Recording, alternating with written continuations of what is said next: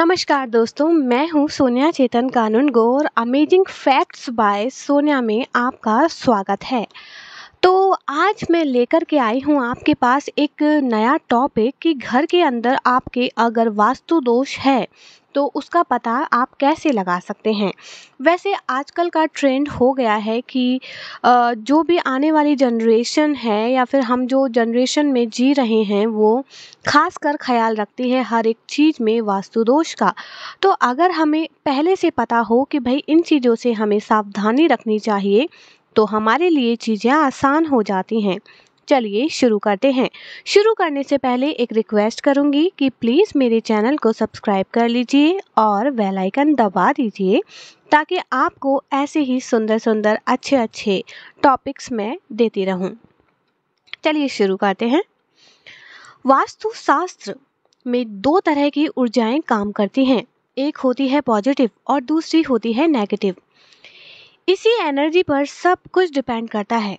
जहाँ positive energy होती है, वहाँ खुशियाँ होती हैं, उमंग होती है, उत्साह होता है। और वहीं अगर नेगेटिव एनर्जी होगी तो बहुत सारी परेशानियाँ, तनाव, जन्म अपने आप ले लेंगे। बने हुए काम बिगड़ने लगेंगे, धन की हानि होने लगेगी और सेहत जो है, वो भी बिगड़ने लगेगी। आपकी कड़ी मेहनत और लगातार प्रयास के बावजूद धन संबंधी समस्याएँ दूर नहीं होती। आर्थिक स्थिति डामाडोल होती रहती है। वास्तु दोष दक्षिण पश्चिम दिशा में होने पर पैसे की समस्याएँ बनी रहती हैं। पैसे ठहरते नहीं हैं। आपकी सेविंग ना के बराबर होती है। इस दिशा में वास्तु दोष होने पर तलाक की स्थिति तक बन जाती है और पारिवारिक कलह दिनों दिन बढ़ता जाता है। ऐसे में यह ज़रूरी है कि घर के मुख्य द्वार, जो मेन गेट है या फिर खिड़की है, उसकी दिशा बदली जाए। इस संदर्भ में हमें बहुत सारी जानकारियाँ मिली हैं। जैसे, इन वास्तु दोषों को आखिर किस तरीके से हम दूर कर सकते हैं? बहुत कम लोग इस बात को समझ पाते हैं कि उनके घर में वास्तु दोष है। ऐसे में आप कैसे जानें, आपके घर में वास्तु दोष से संबंधित समस्याएँ हैं भी या नहीं? यहाँ पर छोटी छोटी बातें हम समझा रहे हैं आपको, जो आपको मदद करेंगी इन सब चीज़ों से बाहर निकलने में। घर में प्रवेश करने पर आपको तरोताजगी का एहसास नहीं होता, यानी आप फ्रेशनेस फील नहीं करते। तो समझ लीजिए कि आपके घर में वास्तु दोष है। आप अपने कंफर्ट जोन से बाहर नहीं निकलना चाहते। आपकी लाइफ के प्रति एक निराशाजनक नज़रिया बन गया है। बहुत कम खुशी होती है और जोश भी बहुत कम महसूस होता है। अक्सर व्यर्थ की परेशानियों में उलझे रहते हैं। पारिवारिक समस्याओं में भी चिंता और तनाव ही रहता है। अधिकतर गलत लोगों से मुलाकात होती रहती है। वे वजह ही तकलीफें, परेशानी और बीमारी बनी रहती है। बिज़नेस, नौकरी में भी दिक्कतों का सामना करना पड़ता है। यदि वायव्य कोण मतलब उत्तर पश्चिम में वास्तु दोष है तो उसके भी दुष्प्रभाव होते हैं।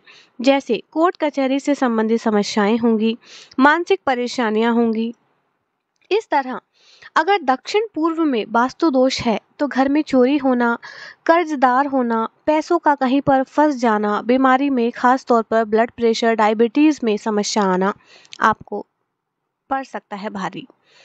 आग्नेय कोण जो होता है, वो मुख्य प्रवेश द्वार, बोरबेल या सेप्टिक टैंक आदि के होने से नेगेटिव एनर्जी का और ज़्यादा विस्तार करता है। तो चलिए, वास्तु दोष को दूर करने के आसान स्मार्ट टिप्स मैं आपके साथ शेयर करती हूँ।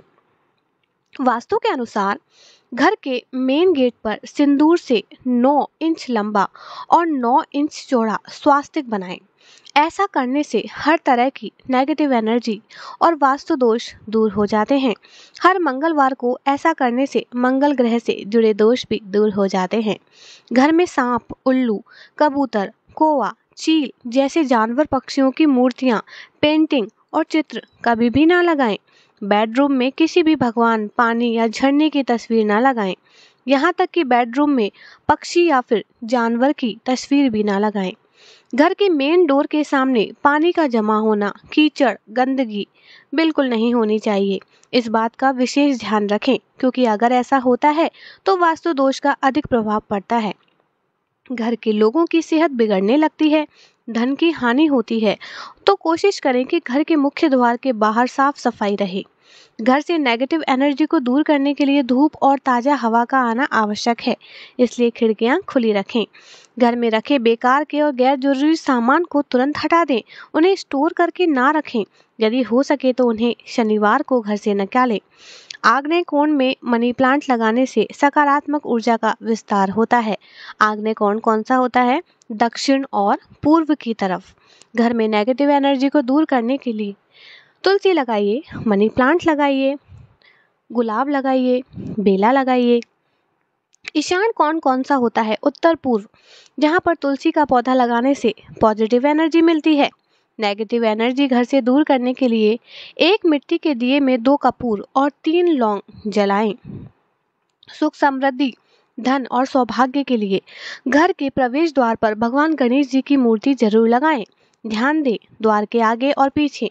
दोनों तरफ़ मूर्ति की तस्वीर होनी चाहिए। नैतत्य कोण में पितरों की तस्वीर लगाने से पॉजिटिव एनर्जी का विस्तार होता है। जी हाँ नैतत्य कोण मतलब दक्षिण पश्चिम की तरफ़। यदि आपका किचन वास्तु के अनुसार गलत जगह पर है तो अपनी रसोई के दक्षिण पूर्व कोण में अग्नि तत्व को सक्रिय करें। इसके अलावा अग्नि तत्व के प्रतिनिधित्व वाले वस्तु जैसे लाल बल्ब जलाने से भी पॉजिटिव एनर्जी मिलती है। शाम को देसी घी का एक दिया ज़रूर जलाएँ और घर के आग्नेय कोण को एक्टिव करें। बेडरूम में बेड के पास नेचुरल कॉटेज क्रिस्टल का बाउल रखें। इससे तनाव नहीं होगा, सुख शांति होगी, सुकून होगा। हनुमान जी और राम जी की गले मिलते हुए तस्वीर वायव्य कोण में लगाने से सपोर्ट सिस्टम मज़बूत होता है। पिरामिड का इस्तेमाल करके भी वास्तु दोष को दोष को दूर किया जाता है। यही नहीं। हमारी जो पॉजिटिव सोच होती है, वो भी वास्तु दोष के लिए काफ़ी अच्छी होती है।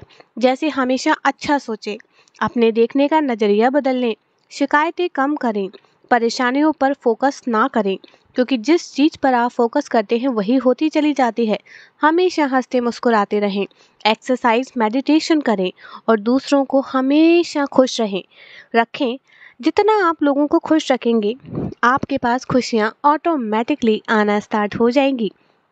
तो मुझे उम्मीद है कि मैंने जो आपको टिप्स बताए हैं, उनसे आपको काफ़ी फ़ायदा होगा।